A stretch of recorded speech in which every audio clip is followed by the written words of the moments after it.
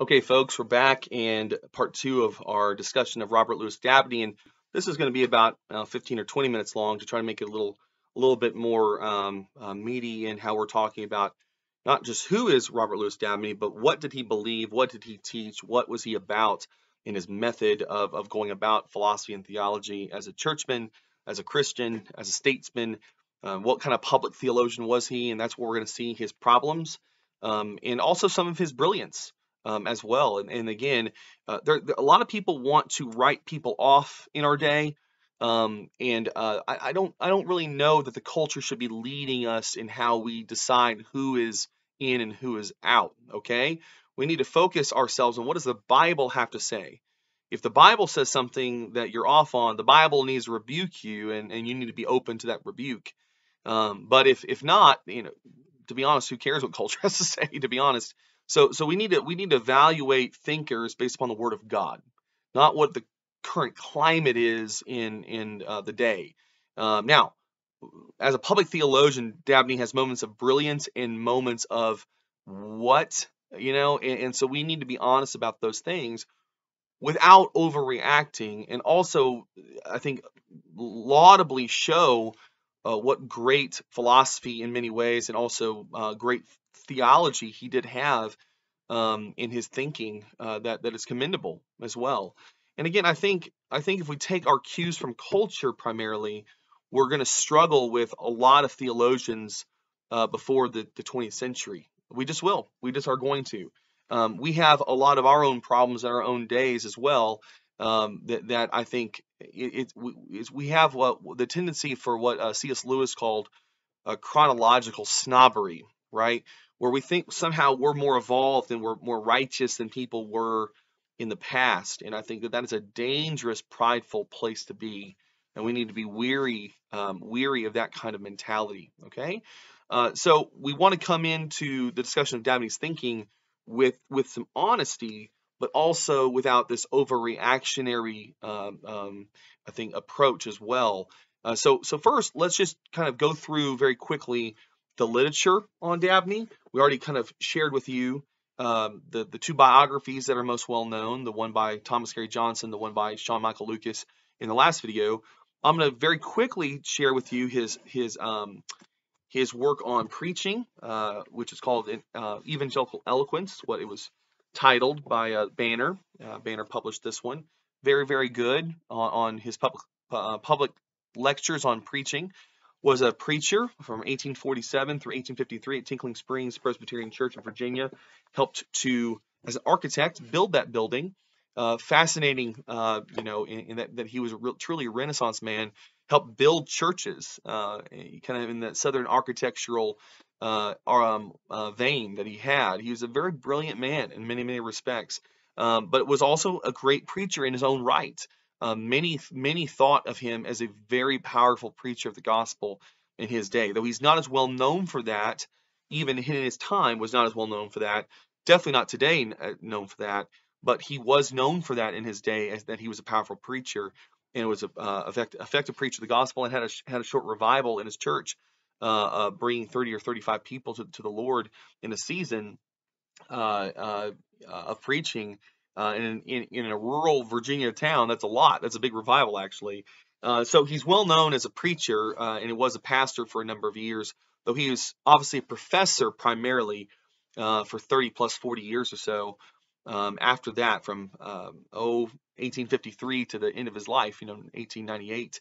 So was a was a pastor for a short period of time, was a professor and a theologian and a public theologian for 40 plus years actually. His two important books on philosophy um, are these two right here. The Practical Philosophy and the Sensualistic Philosophy of the 19th Century. Um, I will I will commend to you both of them, but the first one, the Practical Philosophy, is um, is a is a better general book for for the for the layperson to read um, this book right here. You can buy for $10 from Sprinkle Publications. Sprinkle publishes everything cloth bound, very cheap and, and affordable to buy. Um, but, you know, this goes over everything from some sensualistic philosophy that he critiques um, to also going through, and he spends his most time on that, But to talk about rational sensibilities, he talks about the free will, really good chapters on the free will. Talks about the love of applause. He talks about social affections, moral feelings. He talks about um, the faculty of the will. He spends a lot of time on these things. And again, this is a very impactful book, and you can read small sections of it and, and feel like you're really kind of getting nourished with what he has to say. So I, would commend that one over the sensualistic philosophy, though that one is his um, favorite and his most professed uh, book as as his best book, even considering his um, systematic theology. He thinks the sensualistic philosophy is his best book, and I've read a, a lot of that book so far, and I will tell you it's the hardest book of his, without a doubt. Um, but it, it, I can see why he thinks it's his best. Is his, his most tightly argued, most refined arguments, um, very academic in a lot of ways too, but very, very good and, and needed because as Charles Taylor calls, you know, what's called the social imaginary today, where people just kind of intuit their beliefs instead of actually reason through them, right? In the social imaginary, the sensualistic philosophy of the 19th century is richly involved, right? Paganism, essentially, materialism. He shows how sensualism, which is basically sensory perception, everything is experience, everything that is true is what I experience or don't experience. And from that, it's impressed upon my mind what is true, what is not true, which leads me to materialism instead of understanding the, that the conscience and, and the spirit of the person uh, is rational, uh, is conscious, is responsible, is aware of, of universals and necessary truths. And because of that, my sense is more of an impression of that consciousness and those universals in an occasioned fashion than those senses are telling me exactly what is true or what not what is not true. So uh, you know call, calls it the universals and the occasions. You know again kind of the the philosophical language that, that sometimes can, can throw us awry there, but very very very helpful if you want to read that. Um, and again, this collection of books, this is called his discussions. Fairly well known, um, fairly cheap to buy, to be honest, for what how much uh, stuff is in there. You can see Sprinkle again publishes this, uh, Reformed and Presbyterian publisher, and I mean, it's just they're so good. You, you, can read anything. This is where most of his public theology comes in, where most of that's published with, you know, his theological, evangelical, and philosophical and and and uh, moral philosophy again is his main focus. Not philosophy like we would think of it, though it's that's in there, but more moral, ethical philosophy is what's in there. You're going to find that's where you'll you'll see a lot of his problems um, with with um, racism. Uh, definitely a, a problem in his thinking uh, though not not a um, though he has a, a, view of racism, I would say uh, that is um, while, while, problematic and wrong, um, really sees he, he's he's not on the he's not as uh, was. Girardeau was was known as a friend of the African American uh, church. Uh, Dabney, I don't think was seen as a friend, but I don't think he was seen as an enemy per se. Um, but he has uh, problematic views on racism for sure. Um, and I, I would say also problematic views on hierarchy in the home. Um, I, I, don't believe the Bible teaches hierarchy in the home. I think the Bible teaches complementarianism in the home. Some people would say, well, I'm a complementarian, but they kind of really are hierarchical, actually. Um, the Bible seems to, be very clear that that that the uh, authority that is vested in people to rule and to reign and to lead leads to servanthood. It doesn't lead to you know kingship and lordship over people. Okay, uh, we see Jesus doing this with his disciples and apostles uh, at the Last Supper, and as he washes their feet. So we see the king washing feet. Uh, Benjamin uh, Benjamin Morgan Palmer gets this better than Dabney does, and I think Dabney is really really off both in his racism and also in the problem of his um, his uh, his understanding of the home in the orders of the home. I think are, are problematic. Um, but but Palmer says in his great book, The Family, also published by Sprinkle, that there are varying degrees of submission. Okay, so beginning with Ephesians 5:21, we're all in mutual submission to one another as brothers and sisters. That's one degree or one level of submission. Then it goes to children and parents. Then it goes to the wife, to the husband. But the greatest submission, the greatest degree of submission, is the husband to Christ. So notice that it's led by example. The exemplar is Christ himself, and everyone else behind that, like a train, has varying dif- differing levels of degrees of submission. with the husband being the one to have the greatest. So to me, that's really what the Bible is teaching um, with with giving order to the home. Um, so a complementarian view here, but very much not hierarchy, which is what I think Dabney very much is believing in and teaching. And I don't, I just don't, again, I don't think he was a domineering, terrible individual of any kind, but I just don't think that view lends itself to humility. Um, and I, I, think there there's a big problem biblically with that from Ephesians 5 seems to be calling that out. But again, his racism is just un, you can't defend it. It's non-defendable. It's wrong. Um, however, he's he's he's not a uh, he's not pictures of what I think people would paint him as. Um, he, he's not some big plantation owner or something like that. Okay, but at the same time, it's still sin. Okay, his public theology in this area is wrong. He's he's absolutely sinful in this area.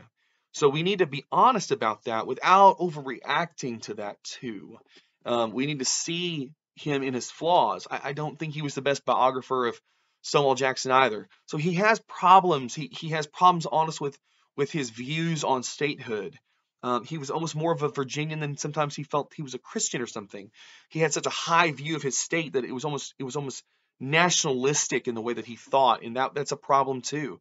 You know, the, the Christian is a dual citizen. We're not to over indulge into our citizenship here on earth. I think he did.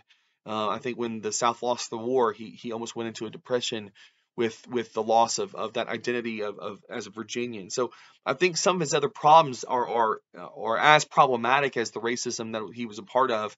Um, his his overindulgence into his statehood, his problems with his his uh, familial hierarchy that he taught. Um, I, I, think those are issues that we need to be honest about. That that we don't need to follow him there. We need to resist that. Uh, B.B. Warfield was much better on a lot of those areas, and so there are other better examples to follow there. But at the same time, I don't want us to react in a way that we throw Dabney out because there's so much that we can learn from him in his theology and philosophy that's very, very good and very, very helpful. So let's not underreact, okay? But let's not overreact either as we want to learn from this person, okay? And we're going to find again, uh, think, you know, pre 20th century, we're going to find a lot of problems with a lot of Christian thinkers that we need to be aware of. Um, and, and we, we need to, again, not underreact, but we also don't need to overreact as well. We need to remember the culture doesn't set the tone, the Bible sets the tone. Where the Bible says that we're off, we need to be exposed and, and judged. We need to respond to that with humility and repentance and trust that Christ, both as our atoning sacrifice, but also as our leader, our exemplar, we need to be more like him. Okay? So I want to make a real strong delineation there that, that it's not culture that should lead us. Okay? It's Christ of and over that culture that should lead us. And Dabney's wrong on a number of those areas, and we need to call him out on that. But we also need to make sure that we don't overreact and push aside his brilliance in other areas that we can glean a lot from. Okay. And then lastly, there's two books um, that I, I, think are really helpful. The Penal Substitution of Christ here, Christ the Penal Substitute, is absolutely brilliant. It's a brilliant book on the substitutionary work as um, uh, of Christ. And, and I, I, will read to you very quickly um, a little a little discussion he has about uh, potential and actual guilt. And this is kind of a little excerpt to show you his brilliance, okay, as a philosopher theologian, and then we'll talk about his systematics at the very end. He says this in his definitions and statements of the issue of where people bring up all these issues, right? That the penal substitution of Christ is violent and it's it's wrong and it's it's God's not like that. God's just love, kind of that kind of stuff. That's always been around, okay? So this is how he argues. He says, no, there are there's potential guilt. Our sin is conscious and spontaneously discrepant from the righteousness of God. Our righteousness is an intelligent and hearty compliance to be so with the will of God. And sin is a conscious and spontaneous discrepancy from that. Okay. So he's describing it in a legal sense here. Okay. Not like the Catholics do, which is an existentialist understanding, but a legal moral understanding of sin. And then he, def- he defines sin in two categories that have a relationship, but he gives a distinction. He says this first, potential guilt is the ill desert of merit or merit of punishment attaching to the transgressor by reason of his sin. Where we judge that an agent has sinned, we also judge that he has made himself worthy of penalty. So potential guilt is someone who has sinned actually, and has made themselves worthy of penalty, but doesn't necessarily mean they were they they get the recompense of that penalty right then. Okay?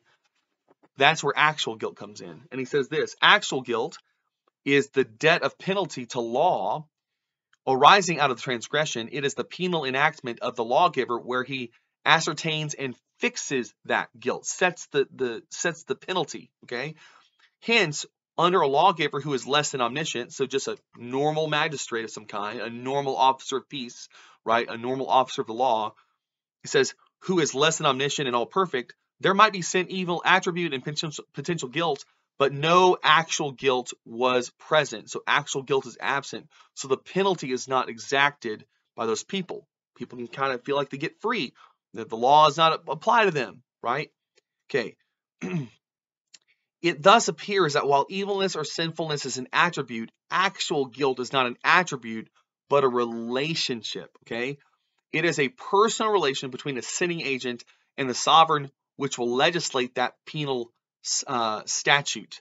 It is this relation only which is transferred or counted over from the sinning person to his substitute. So he, see how he's arguing very technically here, philosophically, biblically, theologically for the need for the substitute. So what's actually given to us, he's saying, is not the you know the, the potential guilt, but the actual guilt that the penalty that rises from our sin is given to the substitute.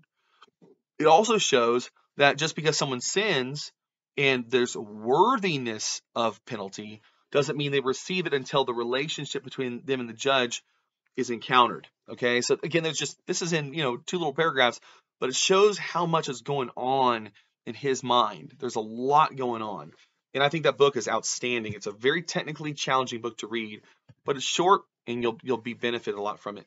Lastly, of course, is his systematic theology, which is really the magnum opus, and it was published first by Banner back in 1985 and has been uh, done so ever since. And I will say that this this theology is really, really really good. Okay.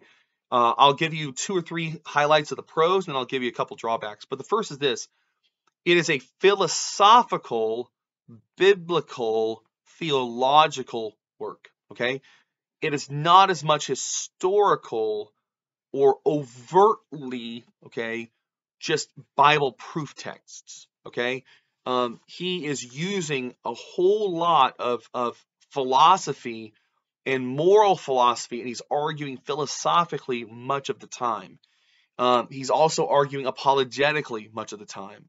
So Dabney is not a proof texter, uh, maybe as, as some of you might might have read through different volumes. He's not a big proof texter, okay? He does use scriptural texts, but he really argues reasonably for doctrines a lot first. And uh, there's there's pushback on that from me and also praise from me. And I think sometimes the pushback's too much. But pushback is this is that sometimes Dabney has a little bit too much of a reliance on reason and consciousness. Oh, I wouldn't say over, but in equality to revelation, almost in a sense like Thomas Aquinas does. You know, a little too close on evenness of scale of reason, human reason, and revelation. But he sees human reason, of course, as a gift from God.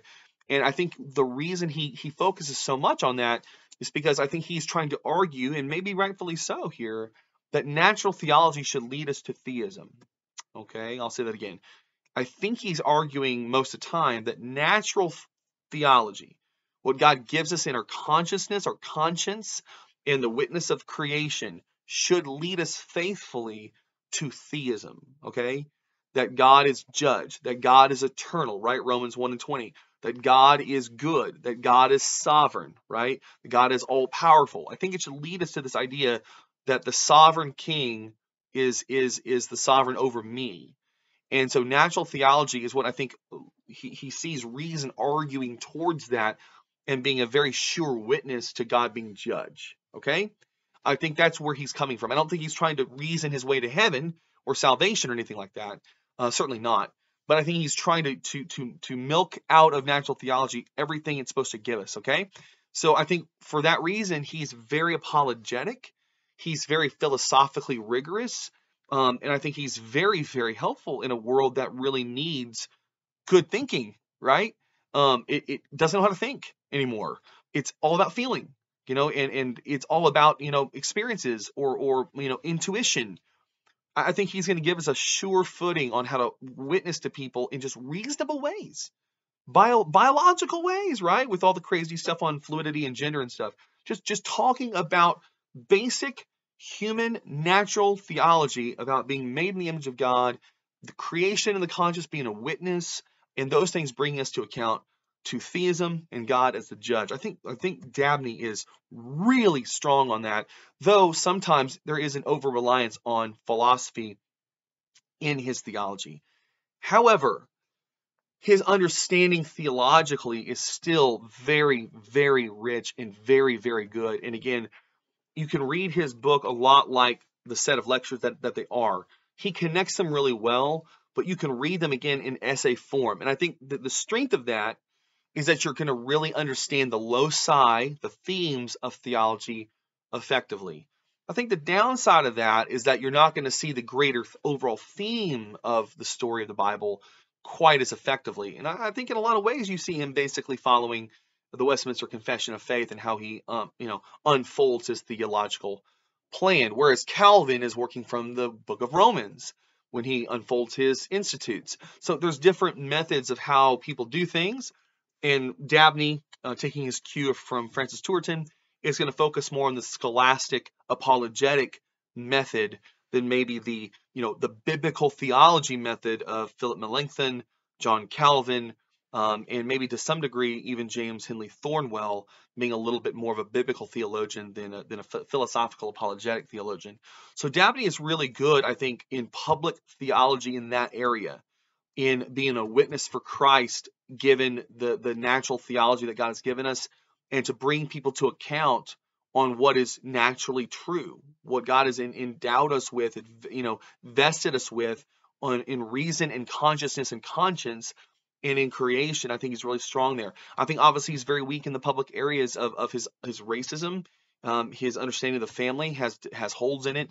Uh, I think some of his areas of um, of, of uh, statehood and in understanding um, to, to, some level just his his overemphasis in nationalism, his overemphasis on pride for country, get in the way of his Christianity, in my view. Again, that, that's not probably not a, a, a well uh, defended, you know, scholarly opinion, but I just I, I think he, he's too invested in that personally.